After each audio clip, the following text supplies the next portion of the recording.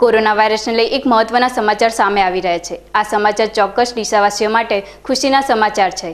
છેલ્લા ત્રણ દિવસથી ડીસામાં કોરોનાના એક પણ પોઝિટિવ કેસ નોંધાયા નથી. ડીસામાં તાજેતરમાં લેવાયેલા કોરોનાના સત્યાવીસ સેમ્પલના તમામ રિપોર્ટ આજે નેગેટિવ જાહેર થયા છે. બનાસકાંઠા જિલ્લામાં એક સમયે કોરોના વાયરસને લઈ હોટસ્પોટ બની ચૂકેલા ડીસા શહેરમાંથી હવે કોરોના વાયરસ વિદાય લઈ રહ્યો હોય તેવું વર્તમાન સ્થિતિ જોતા જોવા મળી રહ્યું છે.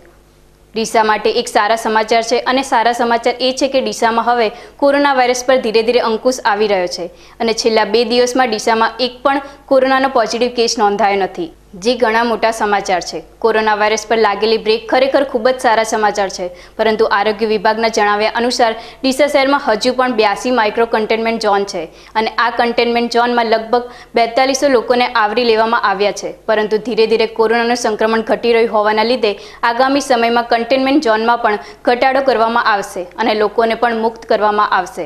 આરોગ્ય વિભાગના જણાવ્યા અનુસાર, આગામી એક મહિનામાં ડીસા શહેરમાં કોરોના મોટાભાગે અંકુશમાં આવી જશે.